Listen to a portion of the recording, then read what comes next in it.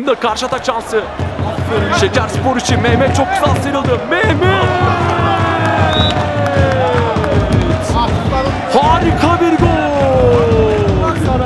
Mehmet'in gecesi sevgili izleyiciler dördüncü golü bugün.